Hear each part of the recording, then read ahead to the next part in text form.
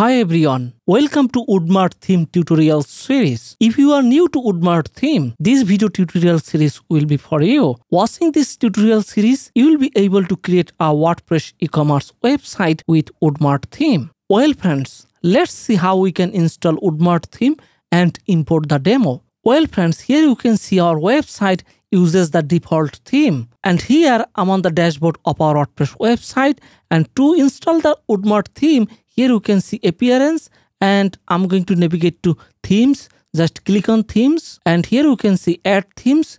Click add themes.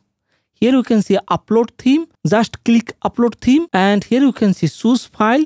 Click choose file and here is the Woodmart theme file. I'm going to double click on it and it is selected. Now hit install now button. Okay, our theme is installed successfully. Now here you can see activate link. Just click here to activate Woodmart theme on our server. Here you can see thank you for choosing our theme. Well friends, here you can see let's start.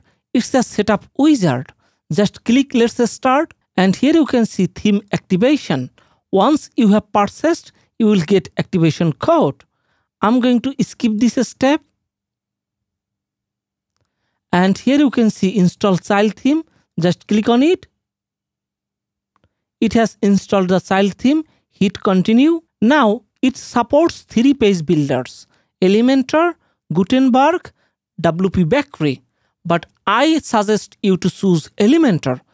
This one is the best WordPress page builder plugin. So it is selected and hit continue.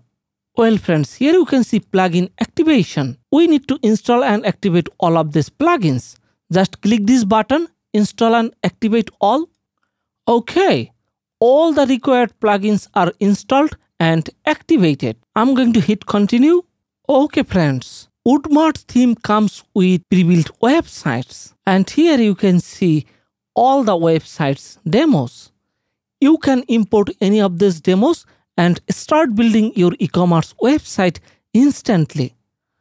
I'm just going to import this guy. I'm going to hit live preview and here goes the demo website. Okay, fantastic. So I'm going to click this button, import. Click on it and it's importing.